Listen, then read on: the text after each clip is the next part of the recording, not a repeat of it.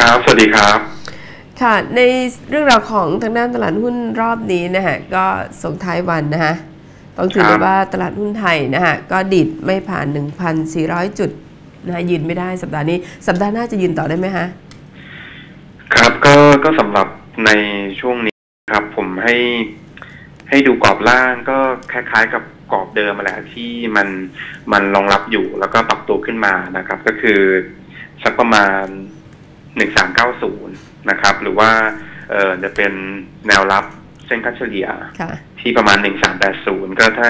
ถ้าตลาดยังยืนบริเวณนี้ได้ มันก็โอกาสในการในการฟื้นตัวก็ยังยังคงเกิดขึ้นได้อยู่ แต่ก็เป็นเป็นแค่ภาพการ rebound นะครับ ตอนนี้เหมือนกับว่าเออเซตมันจะมันจะไปหรือไม่ไป มันก็กลุ่มขึ้นอยู่กับกลุ่ม กลุ่มพลังงานหรือปิโตรอะสองกลุ่มเนี้ยนะครับ ที่เออวันไหนน้ำมันมันดีขึ้นมา มันก็ดีขึ้นมานำเซตขึ้นมานะครับ ก็เออวันไหนไม่ดีนะครับ มันก็มันก็ชะลอตัวอย่างเช่นวันนี้คือ คือเมื่อวานเมื่อคืนเนี่ย ราคาน้ำมันดิบขึ้นมาที่ประมาณ47เจ็ดเหรียญใช่ไหมฮะแต่ว่ามาวันนี้มันไม่ไปต่อมันชะลอลงลงมาสักประมาณ1%ก็ทำให้กลุ่มพลังงานเนี่ยมัน เงียบๆไปนะครับ วันนี้ก็แค่แค่เป็นทรงๆนะครับ ส่วนสื่อสารกับกับกลุ่มแบงก์มันก็นิ่งๆมาตั้งนานละนะครับ ก็ทำให้ อืม ตลาดก็ ก็ยังไงอะก็มันมันก็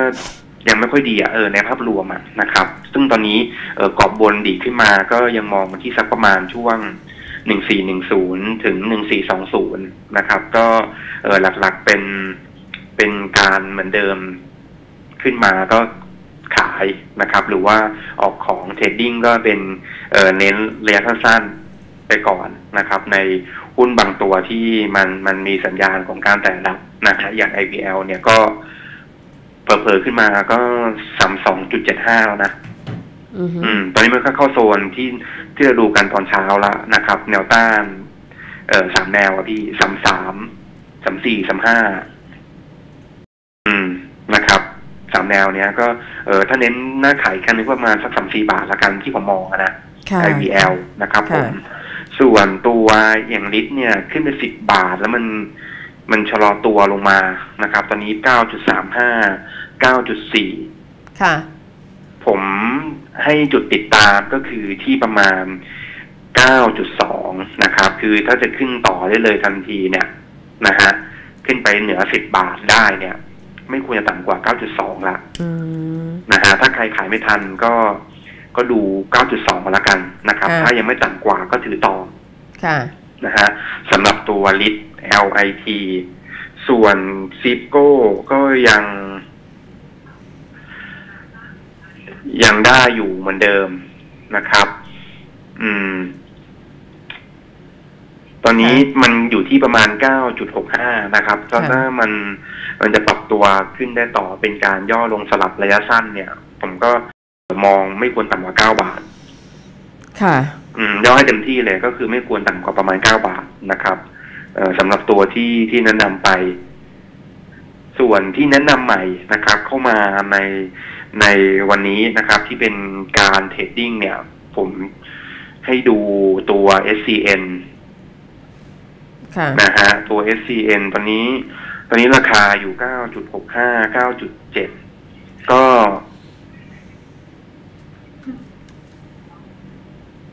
9จุด เออ ผิดผิด ดูผิด ไปดูตัวผิด S ก็ผมเออ SCN ราคาบิด7.65ถึง7.7นะครับ ก็ซื้อได้เลย7.65อืม แนวต้าน แนวต้านประมาณ แนวต้านประมาณ8.2ค่ะ นะครับ แล้วก็ อืม ถ้าต่ำกว่า3-4เปอร์เซ็นก็คัดลอสค่ะนะฮะสมมติซื้อ7.7.65ก็ประมาณ7.4เดี๋ยวผมขอเปิดกราฟดูนิดนึงนะฮะอืม มีประมาณมีประมาณแนวต้านนะ8.1ถัดไปก็คือ8.4 นะครับ 8.1 แล้วก็ 8.4 ส่วนการย่อลงสลับเนี่ย อืม 7.4 แหละนะครับค่ะคือถ้าต่ำกว่าไม่ดี ถ้าถ้าเกิดว่ายังยืนได้ก็ เอ่อจะราคาจะปรับตัวขึ้นได้ต่อค่ะแล้วถามว่าดูยังไงนะ ถามว่าดูยังไง ผมค่ะมอง ผมมองเป็นคล้ายๆตัวซิโก้เลยนะครับ คือ ถ้าดูจะเห็นว่าราคา ถ้าดูตามกราฟไปเนี่ยจะเห็นว่าราคามันปรับตัวปรับตัวลงต่อเนื่องเลยตั้งแต่ 15.5 นะครับ ลงมาที่ประมาณ 6.4นะปรับตั้งแต่เดือนมิถุนายนปีที่แล้วอะลงมาทำ bottom ที่ประมาณช่วงช่วงเดือนมีนาคม นะครับ แต่ปลายเดือนมีนาคมอันเนี้ยน่าจะลงมาครบแล้วแล้วก็เริ่มฟื้นตัวครับ step แรกเนี่ยมอง อันนี้น่าจะมองเปลี่ยนเป็นเอ่อสู่การปรับตัวขาขึ้น แล้วก็ step แรกเนี่ยมันขึ้นมา ครบขาแรกแล้วนะครับ ที่ bottom ประมาณ 6.45 ขึ้นมาที่ประมาณ 8.25 นะครับ แล้วก็อืมเออลงมาที่แนวรับ Fibo พอดีเลย นะครับที่ประมาณ 7 บาท ตอนนี้มีสัญญาณฟื้นตัวอีกครั้งแล้วก็มองเออน่าจะเป็นภาพของการกลับมาฟื้นตัวได้นะครับ แล้วก็แนวต้านที่บอกไปก็คือที่ 8.1 แล้วก็ 8.4 นะครับ ตัว SCN ก็ก็ลองดูแล้วกัน trading ค่ะนะฮะส่วนอืมครับผม เห็นไล่อยู่อะยกไปแล้วเจ็ดแปดแล้วนะฮะ อืมฮะ ส่วนส่วนตัว CDM หนึ่งหกค่ะตอนนี้886ก็ยังเป็นเล่นสั้นโอเป็นลองนะครับ ในช่วงในช่วง rebound นะครับ ก็คือเอ่อเปิดสอง step 885มาลงมา883แล้วน่าน่าจะได้แล้วนะใครที่เปิดรอเปิด885นะครับค่ะ อืมอีกแนวหนึ่งก็ที่ประมาณ 880 แล้วก็หลุดต่ำกว่า 878 cut loss ค่ะด้านบนมีประมาณ 900 ถึงประมาณ 904 จุดค่ะนะครับ เพื่อรอปิดสำหรับตัวเอ่อ CDM หนึ่งหกส่วนทองคำทองคำก็ยังไม่ไปไหนนักนะครับ ที่พูดไว้ตอนเช้า ก็ยังเป็น Open Short เหมือนเดิม แล้วก็สูงกว่าตัวสัป สูงกว่า1285คัดลอสค่ะแนวรับมีที่ประมาณ1250ค่ะนะฮะ ส่วนหู GL นี่ก็เก่งกันนะ GL ไม่หล่นนะฮะ อืมนะครับ ไม่หล่นเลยอืมแข็งแรงยี่สิบเจ็ดบาท เป็นแนวต้านนะครับอืมแต่ก็ยังยังไม่ผ่านเหมือนกัน ค่ะพี่น้องอ่า ครับเดี๋ยวผมรอดูแล้วกัน ถ้าสมมติมันมันเริ่มผ่าน ยี่สิบเจ็ดบาทได้อาจจะอาจจะอัปเดตอีกครั้งหนึ่งก่อนนะครับ ต้องดูวันนี้ก่อนว่าปิดเหนือยี่สิบเจ็ดบาทหรือเปล่าอืม GL ครับ GL นอกนั้นก็ก็เมเจอร์ก็ยังชอบเหมือนเดิมนะฮะ อืม ยืนสามสิบบาทได้ก็ถือต่อ เมเจอร์นะอืมอืมถ้าใครถ้าใครจะถือหุ้น เออเป็นรอบนานหน่อยก็ผมแนะนำตัวเนี้ยเมเจอร์อืม นะฮะแนวต้านมองเป้าหมายประมาณแนวแรกประมาณสามสิบห้าบาทบาท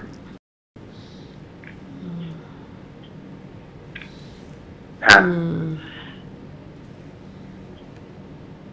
CPF ก็ก็ยังมองว่าน่าขายนะ ค่ะยี่สิบเจ็ดยี่แปดบาทตรงเนี้ย อือฮึอืมเพราะว่าที่เคยเออพี่อ๋อที่พูดค้างไว้พี่มอนน่ะ ตอนเช้าอะอะไรนะ ไอ CPF มาพี่ว่าทำไมให้ขายอะใช่ใช่ค่ะ อืม คือมันก็มันก็ถ้าเปิดใครเปิดชาร์ตตามนะคะ ถ้าดูภาพประดับวันเลยเนี่ย แท่งราคา เอาง่ายๆเลย มันทำจุดสูงใหม่ใช่ไหมคือจุดสูงเดิมเนี่ยมันอยู่ที่ยี่สิบเจ็ดบาท ค่ะ อืม แล้วรอบเนี้ยมันขึ้นมาใหม่ ขึ้นมาทำ high ประมาณยี่แปดบาท มันก็เป็นสัญญาณ divergence นะครับ เพราะว่า เอ่อตัว indicator มันไม่ปรับตัวขึ้นตาม คือมันไม่ทำจุดสูงใหม่ไว้ง่าย คือแท่งราคาอืมมันมันทำจุดสูงอย่างเดียว แต่ว่า indicator มันไม่ตามค่ะแสดงว่ามันมีพลังละ มันเริ่มแบบ เอ่อเป็นช่วงปลายละของค่ะของรอบนะครับ หรือว่าเป็นสัญญาณ bearish divergence แล้วก็ถ้าระดับวันเนี่ย ถ้าดูจุดเริ่มต้นที่ประมาณ 18.2 วันที่ เอ่อ18 กุมภาพันธ์ค่ะนะครับ ขึ้นมาห้าขึ้นละอืม นะครับ อืม ตั้งแต่วันที่18กุมภาราคา18.7ขึ้นมา29บาท เออ28.5นะวันเนี้ย อืม ขึ้นมาน่าจะเป็น5คืนละค่ะแล้ว confirm ด้วยตัวสัญญาณ bearish divergence ด้วยนะครับ อืมอืมค่ะ ยิ่งขายเอ้ยยิ่งขึ้นก็ยิ่งต้องขาย อย่าเพิ่งซื้อนะค่ะค่ะเออ ครับ ผมเหมาะสำหรับคนที่ เออมีแล้วก็ ทยอยขายนะครับ ซึ่งเออผมมองว่าถ้าเกิดว่าราคามันเริ่ม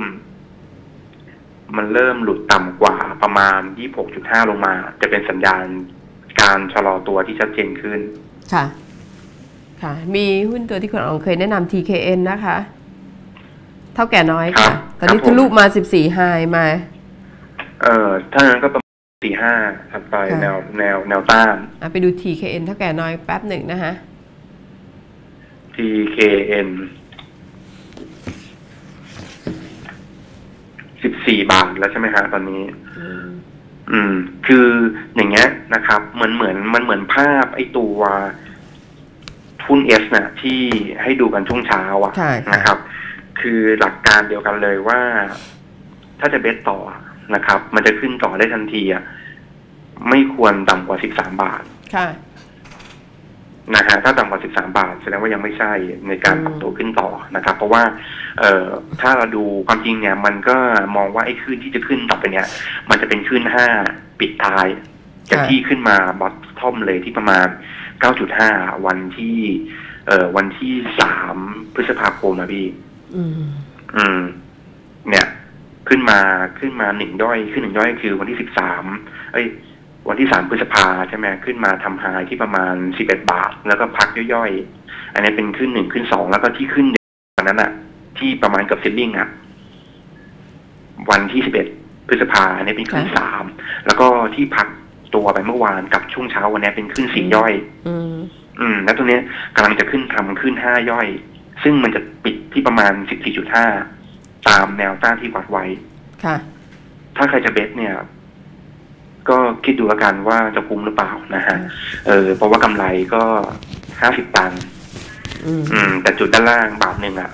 ค่ะหายไปอืมใช่แต่ผมก็ ก็เขาเรียกว่าอะไรายได้ไม่คุ้มเสีย ค่ะอืมแต่ผมก็ไม่เอา แต่ถ้าคุณมีมาแล้วล่ะฮะ เออคนมีอะน่าสนใจ เพราะว่าเป็นการเล t โปรฟิตรันก็คือ เอ่อต่ำไม่ต่ำกว่าสิบสามบาทถือต่อ อืม ถ้ากรณีนั้นนะฮะ อืมใช่ครับเหมาะสำหรับคนมีหุ้นมากกว่า ค่ะค่ะครับ แล้วก็ถึงบอกว่าอีกอย่างหนึ่งว่าสมมติว่าเราถ้าเราถ้าเราซื้อหุ้นมาแล้วเนี่ยใช่ไหมครับ เออแล้วมันมันเหมือนมันมันติดลมบนแล้ว คือหุ้นตัวเนี้ยมันขึ้นแรงมากเลย อย่าเพิ่งไปขายหมดค่อยๆแบ่งขายแล้วก็หยุกยกจุดล็อกโปรฟิตขึ้นไปเรื่อยค่ะอืมๆแบ่งขายไปเรื่อยๆนะครับ อืม ตามหลักที่ว่าคือกำไรต้องเอากำไรให้เยอะที่สุดเท่าที่ทำได้ค่ะขาดทุนต้องน้อยที่สุด ค่ะ ครับผมอ่าได้ค่ะครับคุณพี่อองครับ ก็เยอะนะ สัปดาห์นี้ที่เราตามกันหลายตัวตอนเนื่องต่อใช่สัปดาห์หน้า ครับผมอะก็ลุ้นกันครับสัปดาห์หน้านะคะอะครับเดี๋ยวเจอกันสัปดาห์หน้าครับสวัสค่ะดีคขอรับบคุณค่ะ ค่ะก็เป็นการ